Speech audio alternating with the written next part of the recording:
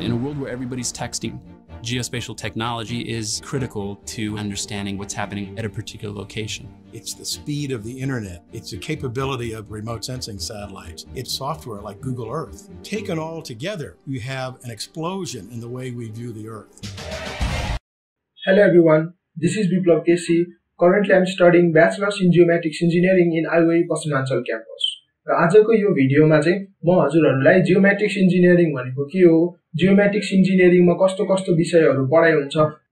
र geometrics engineering चाहिँ नेपालको कुन कुन युनिभर्सिटीमा पढाइ हुन्छ? अनि जियोमेट्रिक्स इन्जिनियरिङको स्कोपहरू कस्तो छन् भन्ने बारेमा बताउनेछु।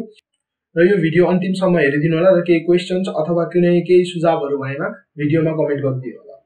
So what is geometrics engineering र जियोमेट्रिक्स इन्जिनियरिङ भनेको के हो? कुनै पनि जियोग्राफिकल अथवा स्पासियल डाटा भनेको लोकेसन बेस्ड डाटाहरूको मेजरमेन्ट एनालाइसिस त्यसको म्यानेजमेन्ट र त्यसको डिस्प्ले यो सबै कुराहरूको एउटा इन्टिग्रेटेड एप्रोच जुन छ त्यसलाई चाहिँ हामीले जियोमेट्रिक्स इन्जिनियरिङ भनिन्छ।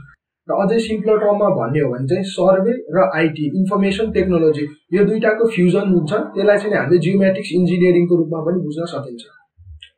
र जियोमेट्रिक्स इन्जिनियरिङ भनेको इन्जिनियरिङको एउटा यस्तो ब्रान्च हो जसले चाहिँ कन्टेम्पोरेरी टेक्नोलोजी अहिलेको एक्जिस्टिङ टेक्नोलोजीलाई मोस्ट इफिसियन्टली युज गर्न सक्छ र फ्युचरमा हुने जति पनि टेक्नोलोजिकल डेभलपमेन्टहरू छ त्यो डेभलपमेन्टहरू अनुसार चाहिँ हाम्रो फिल्ड चाहिँ अझै डाइनामिक र अझै इफिसियन्ट हुँदै जान्छ। जस्तै इक्जाम्पलको लागि हेर्ने हो भने जस्तै म्याप नै हेर्ने हो भने पहिला पेपर म्याप हुन्थ्यो भने अहिले टेक्नोलोजीको एडभान्समेन्ट अनुसार चाहिँ हाम्रो म्याप चाहिँ वेब म्यापमा गएको छ डिजिटल म्यापमा कन्भर्ट गरेको छ। यसले गर्दा चाहिँ हाम्रो वेब म्यापिङ जस्तो कन्सेप्टहरू चाहिँ इन्ट्रोड्युस भएको छ। त्यस्तै गरेर जियोग्राफिक इन्फर्मेसन सिस्टम इन्ट्रोड्युस भएको छ। र सर्भेङकै केसमा हेर्ने हो भने पनि plane table surveying chain surveying चाहिँ हामीले अझै पनि इफेक्टिभ रूपमा युज गर्न सक्छौँ तर टेक्नोलोजीको एडभान्समेन्ट अनुसार चाहिँ हाम्रो GPS surveying total station surveying aerial surveying remote sensing जस्तो कन्सेप्टहरू इन्ट्रोड्युस भएको छ। यसरी चाहिँ टेक्नोलोजीको एडभान्समेन्टले चाहिँ जियोमेट्रिक्स इन्जिनियरिङलाई चाहिँ अझै डाइनामिक र इफिसियन्ट बनाउँछ र अझै मल्टिपल स्कोप्स अथवा मल्टिपल प्रपोजहरू चाहिँ यसले इन्ट्रोड्युस गर्ने गर्छ न कि टेक्नोलोजिकल एडभान्समेन्ट अनुसार चाहिँ जियोमेट्रिक्स चाहिँ आउटडेटेड हुँदै जाँदै जाँदैन। र जियोमेट्रिक्स इन्जिनियरिङको एम के हो।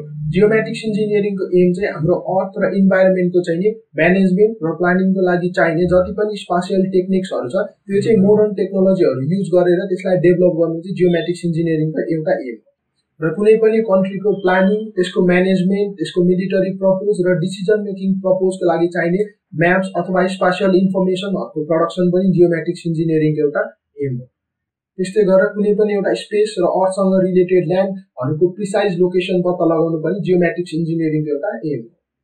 र जियोमेट्रिक्स इन्जिनियरिङसँग रिलेटेड एउटा ठुलो मिसकन्सेप्सन र मिथ चाहिँ के रहेको छ भने जियोमेट्रिक्स इन्जिनियरिङ जियोमेट्रिक्स इन्जिनियरिङ र सर्भिङ यो तिनटै कुरा भनेको चाहिँ सेम हो भन्ने एकदम ठुलो मिसकन्सेप्सन रहेको छ।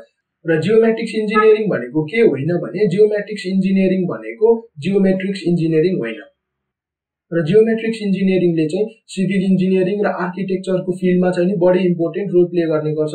त्यस्तै गरेर र सर्वेइङले चाहिँ कुनै पनि डेभलपमेन्ट वर्क्सहरूको कन्स्ट्रक्सन वर्क्सहरूको चाहिँ नि लेआउट प्रड्युस गर्ने काम गर्छ। कुनै पनि प्रपर्टीको बााउन्ड्री डिमार्केसन मोनुमेन्टेसन र डकुमेन्टेसन गर्ने काम गर्छ। र सर्वेइङ चाहिँ जियोमेट्रिक्स इन्जिनियरिङको एउटा पार्ट मात्रै हो।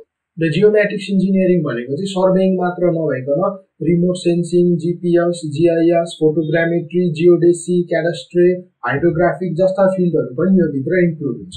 जियोमेट्रिक्स इन्जिनियरिङ चाहिँ नेपालको कुन कुन युनिभर्सिटीमा पढाइ हुन्छ? र हालको समयमा चाहिँ जियोमेट्रिक्स इन्जिनियरिङ नेपालको तिन युनिभर्सिटीमा पढाइ हुन्छ। त्रिभुवन युनिभर्सिटी काठमाडौँ युनिभर्सिटी र पूर्वाञ्चल युनिभर्सिटी र त्रिभुवन युनिभर्सिटी अन्तर्गत आइओई पश्चिमाञ्चल क्याम्पसमा र काठमाडौँ युनिभर्सिटी र र पूर्वाञ्चल युनिभर्सिटीको चाहिँ हिमालयन कलेज अफ जियोमेट्रिक्स इन्जिनियरिङमा चाहिँ जियोमेट्रिक्स इन्जिनियरिङ पढाइ हुन्छ। र टियुमा चाहिँ जियोमेट्रिक्सको इन्टेक फोर्टी एट रहेको छ। काठमाडौँ युनिभर्सिटीमा सिक्सटी र हिमालयन कलेज अफ जियोमेट्रिक्स इन्जिनियरिङमा चाहिँ थर्टी इन्टेक रहेको छ। र ब्याचलर्स पछिको हायर स्टडी गर्न चाहिँ काठमाडौँ युनिभर्सिटी त्रिभुवन युनिभर्सिटी र नेपाल ओपन युनिभर्सिटीबाट चाहिँ हामी जियोमेट्रिक्स इन्जिनियरिङमा मास्टर्स गर्न सक्छौँ। त्यस्तै गरेर जिआइएस स्टडी चाहिँ हामी काठमाडौँ कलेज अफ फरेस्ट्रीबाट चाहिँ जिआइएस स्टडीमा चाहिँ हामी मास्टर्स गर्न सकिन्छ। र जियोमेट्रिक्स इन्जिनियरिङमा ब्याचलर्स गर्दा चाहिँ हामीले डिफ्रेन्ट सब्जेक्ट्सहरू पढिन्छ जस्तै math physics statistics computer programming remote sensing GIS satellite positioning GPS surveying र अन्य थुप्रै सब्जेक्टहरू चाहिँ हामी चार वर्षको ब्याचलर्स गर्दा चाहिँ पढिन्छ। र यदि हजुरहरूलाई चाहिँ ट्रिबल युनिभर्सिटीको जियोमेटिक्स इन्जिनियरिङको कम्प्लिट सिलेबस हेर्न मन छ भने चाहिँ मैले यो भिडियोको डिस्क्रिप्सनमा चाहिँ कम्प्लिट सिलेबस राखिदिएको छु त्यहाँ गएर चाहिँ हजुरहरूले जियोमेटिक्स इन्जिनियरिङको कम्प्लिट फोर इयर्सको सिलेबस पनि चेक गर्न सक्नुहुन्छ।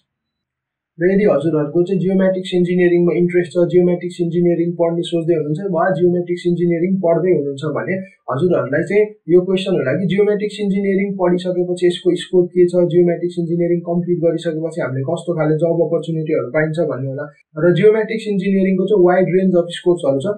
जियोमेटिक्स इन्जिनियरिङ कम्प्लिट गरिसकेपछि हामी engineering non engineering decision making र रिसर्च एन्ड एनालाइसिसको फिल्डमा पनि हामीले काम गर्न सक्छौँ।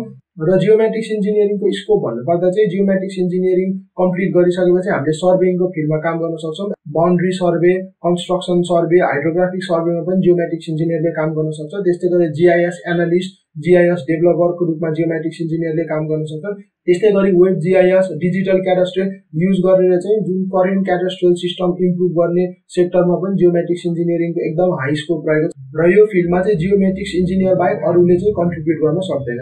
त्यस्तै गरी जियोमेट्रिक्स इन्जिनियर कम्प्लिट गरिसकेपछि जियोडेसीको फिल्डमा हामी एज अ जियोडेसिस्टको रूपमा पनि काम गर्न सकिन्छ। र रिमोट सेन्सिङको फिल्डमा चाहिँ हामी disaster management agriculture planning urban planning र एज अ रिमोट सेन्सिङ साइन्टिस्टको रूपमा पनि काम गर्न सकिन्छ।